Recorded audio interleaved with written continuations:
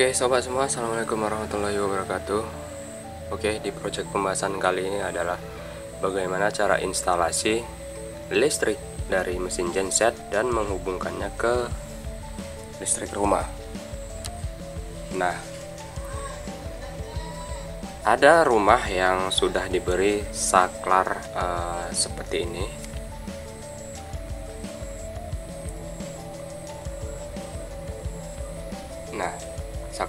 ini ya, dan ada yang belum diberi saklar seperti ini. Nah, contohnya pada rumah ini. Rumah ini belum diberi atau belum diinstal saklar seperti ini.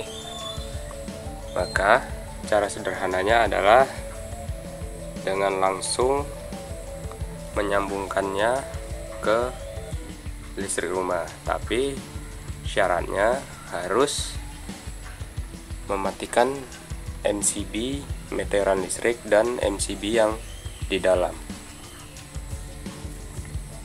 Oke, sebelumnya di sini sudah saya persiapkan bahan untuk mengalirkan arus listrik dari mesin genset ke rumah. Nah, di sini sudah saya beli stop kontak atau colokan listriknya merek unit merek Uticon S SNI Standar Nasional Indonesia dan harganya uh, eh, 12.000 saya beli dua jadi 24.000 dan saya tawar menjadi 22.000 nah di sini saya akan menggunakan kabel tunggal ya. Kabel seperti ini. Jika menggunakan kabel serabut yang ditakutkan adalah ketidaktahanan dari serabut-serabut karena bisa e, mengakibatkan serabut itu cepat panas dan putus. Nah, maka saya akan menggunakan kabel tunggal yang seperti ini. Dan ini saya menggunakan bekas lampu. Sobat juga bisa membelinya di toko listrik yang kabel tunggal seperti ini. Jangan yang serabut karena risikonya lebih besar. Oke sini akan instalasi dulu colokan listriknya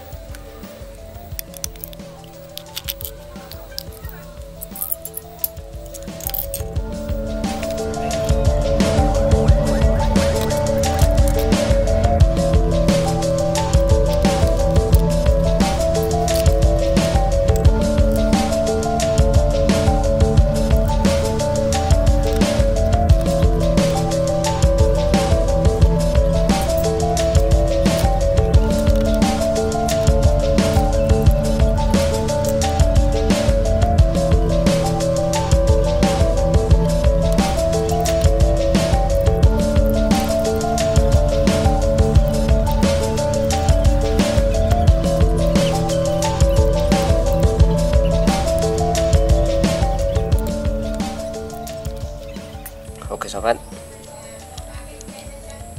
di sini saya ada kesalahan pemotongan kabel. Seharusnya uh, balutannya tidak terkelupas seperti ini. Maka saya akan usahakan kabel ini tidak menyentuh besi ini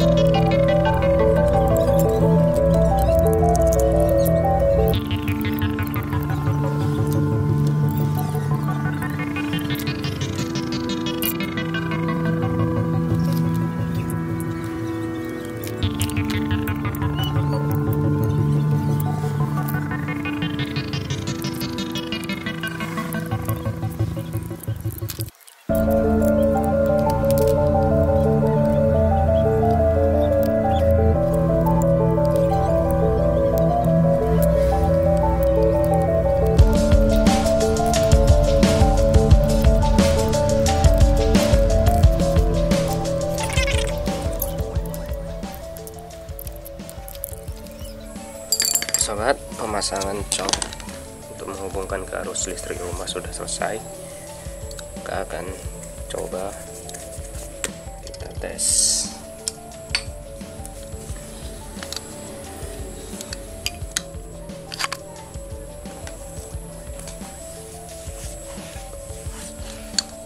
Akan saya hubungkan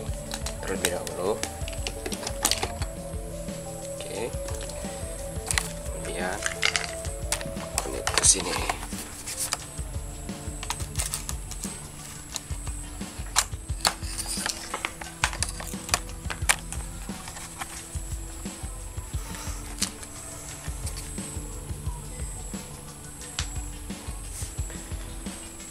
Oke sobat ya, sebelum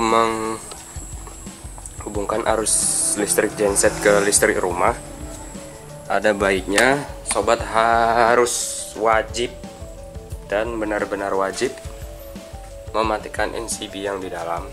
Nah, karena rumah ini belum menggunakan sistem saklar seperti ini,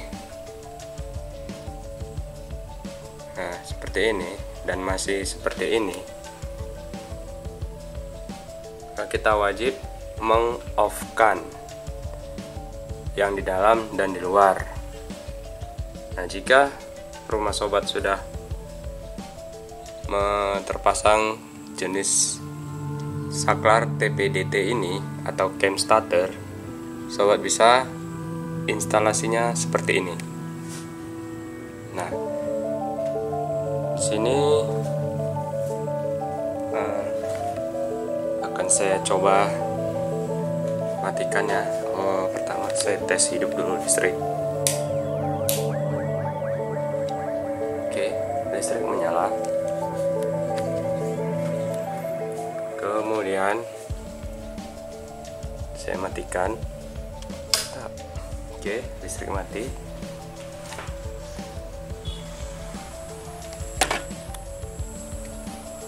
dan MCB di luar juga saya matikan.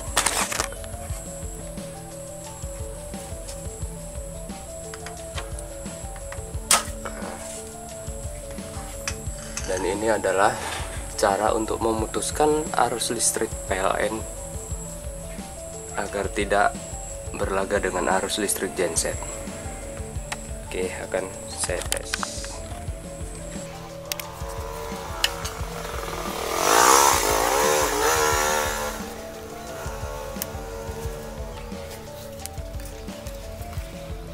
Oke, sebelumnya uh, akan saya perlihatkan ampere dari voltase listrik genset.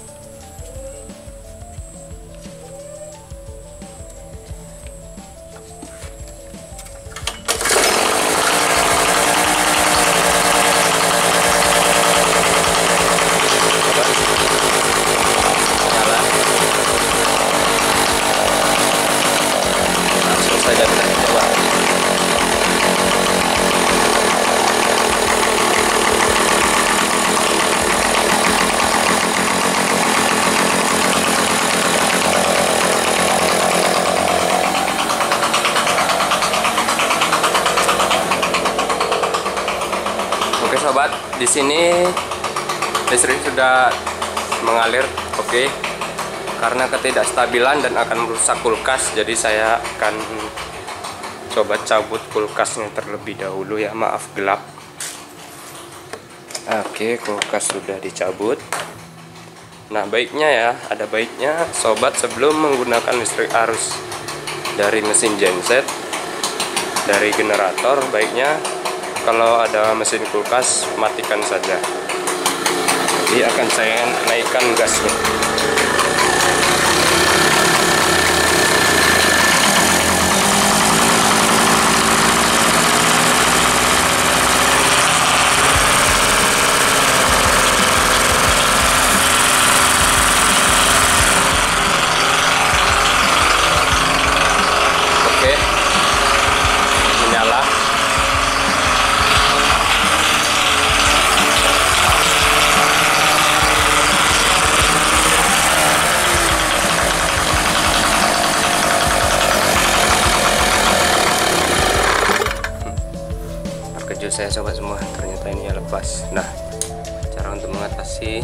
Agar getaran ini atau genset ini tidak lari ke mana-mana. Sobat bisa timpa atau beri sesuatu benda yang agar tidak genset ini berjalan. Oke sobat itu tadi uh, cara sederhana cara instalasi listrik genset ke listrik rumah. Oke sobat semua, semoga informasi ini bisa bermanfaat untuk sobat. Jangan lupa like-nya dan jangan lupa juga untuk di subscribe bagi yang belum subscribe karena di channel ini saya akan terus berbagi informasi tentang uh, masalah mesin genset dan informasi-informasi seputar masalah lainnya. Oke, sekian saya Ilham. Assalamualaikum warahmatullahi wabarakatuh.